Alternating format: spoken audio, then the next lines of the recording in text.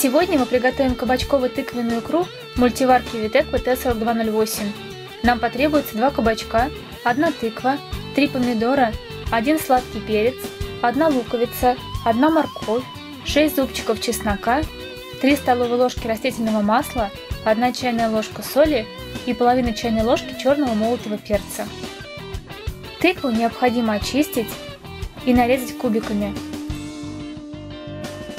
Нарезать кубиками морковь. Кабачки очистить и нарезать. У перца удалить сердцевину, нарезать кубиками. Нарубить чеснок. Помидоры залить кипятком, снять шкурку и также нарезать кубиками. Включить режим жарить на 10 минут. В чашу мультиварки налить масло и выложить нарезанный лук. Жарить помешивая до окончания режима. Поместить в чашу морковь и тыкву. Включить режим тушить на 15 минут. Когда режим окончится, поместить в чашу кабачок, перец, чеснок и помидор. Добавить соль, перец, перемешать и включить режим тушить на 20 минут. Когда режим окончится, достать чашу из мультиварки и дать овощам немного остыть, слить лишнюю жидкость, переложить овощи в миску и измельчить блендером.